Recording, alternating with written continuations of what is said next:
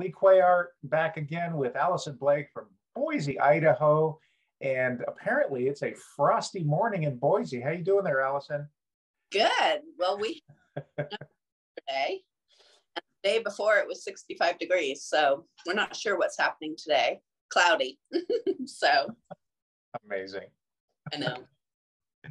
amazing. So what can you tell us? What's happening in the Boise market this month? Well, it's surprising. We thought that the Boise market was going to go way down with the interest rates because interest rates are climbing up toward 5%. Um, but this month, from February to March, we went up $25,000. So we are up to 575 on resale homes in Boise. Um, so the average price of a home is 575. And for that, that gets you a pretty nice home. It can get you excuse me, can get you a four bedroom, two bath. Depending on where you buy, it can get you up to an acre of land. So we're at 575, and that's in Ada County. And in Canyon County, we're up to 452, and that's up 18,000 since last month.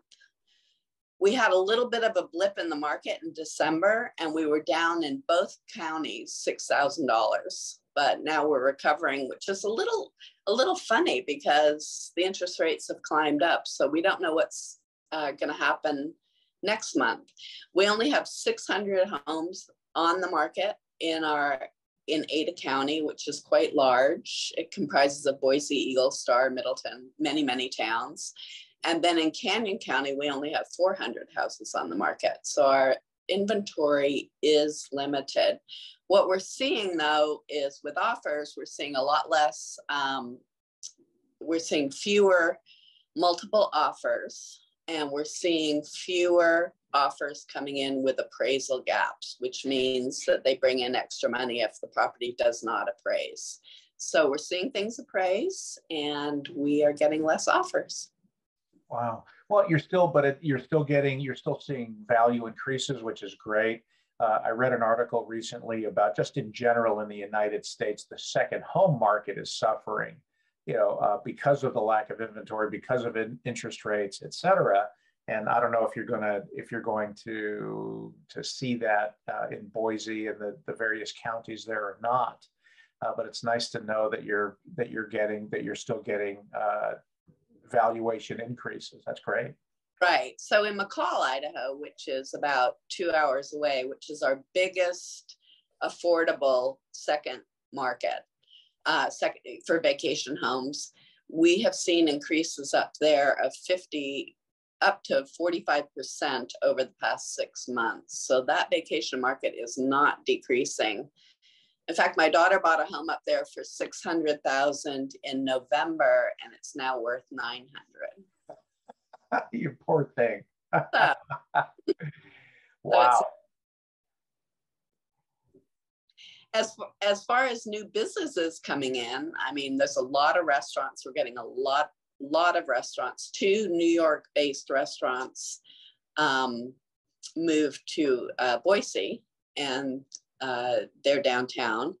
And then um, Whole Foods is trying to expand to different markets here. We are going to get that great hamburger chain uh, from California, In-N-Out. Yes. so that people people lose their minds when they know when they hear In-N-Out's coming to town. oh, and that is going in Meridian, which is the center of the valley. And then, um, of course, Boise is growing out toward the Oregon border. Now we're only an hour from Oregon.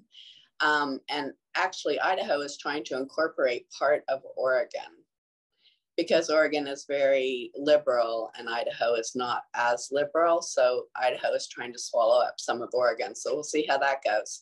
But for right now, um, for right now, uh, as you mentioned, there's a new extreme pizza going out toward Melba, which Melba is a farm town right on the Oregon border. So it's pretty surprising. All the little farm towns are really growing. Um, the prices are increasing. I just sold a home in Payette, which is by the about 10 minutes from Oregon, and it was 250,000 and there's nothing since I've sold that home last month, there's nothing that's under 250 now. So people are moving out. Yeah. Little interesting fact about the relocation business in Boise. Where do you think the most people have relocated to our area? Which state? Uh, I'm, my guess is California. No. well, the third, the third most uh, people coming in. Utah is the second state, and Idaho is the first state. So we are seeing most of the people that are buying in Idaho are actually from different parts of Idaho, which really translates to a very strong economy for our area. Interesting.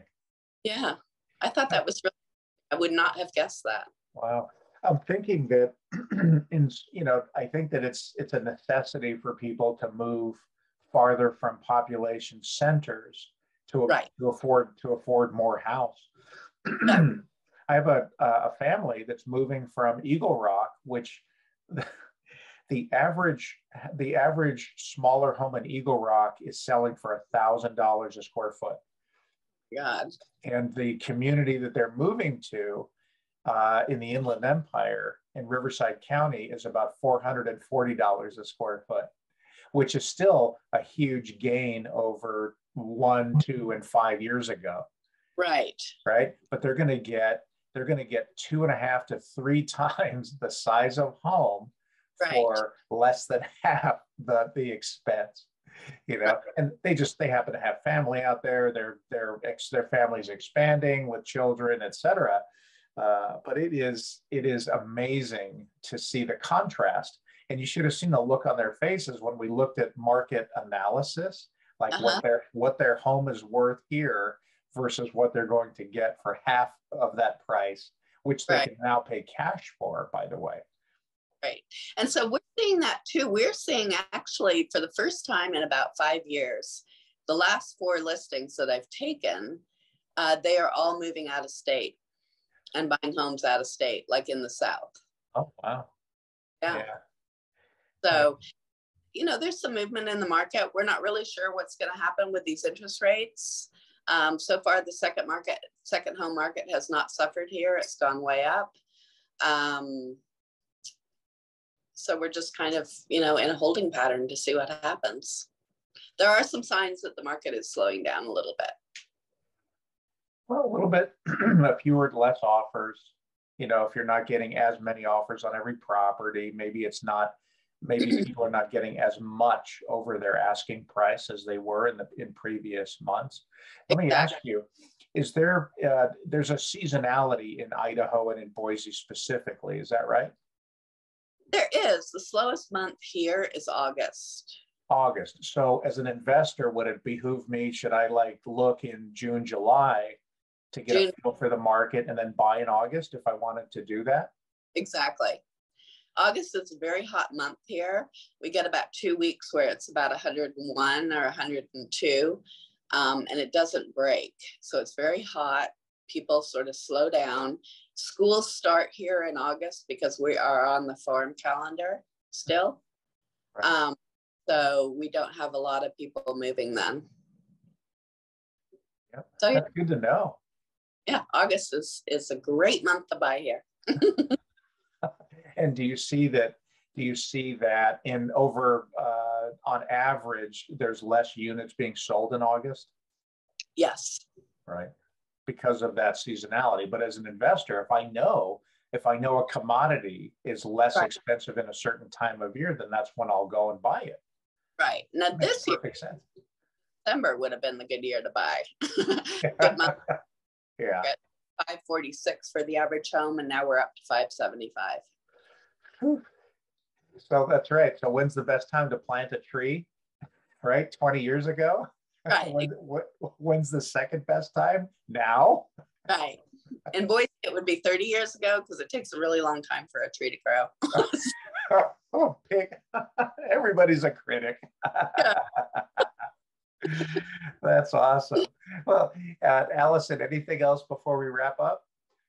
No, I think that we we're just going to kind of wait and see. It'll be interesting to see what our statistics come out in April. Great. Well, thanks so much for your time. I sure appreciate it. And Yeah. we'll check in with you next month. Okay. All right. Thanks for watching. If you have any questions at all about any of the cities that we talk about on the show, just drop us a DM, give us a call, send us an email. It's your choice.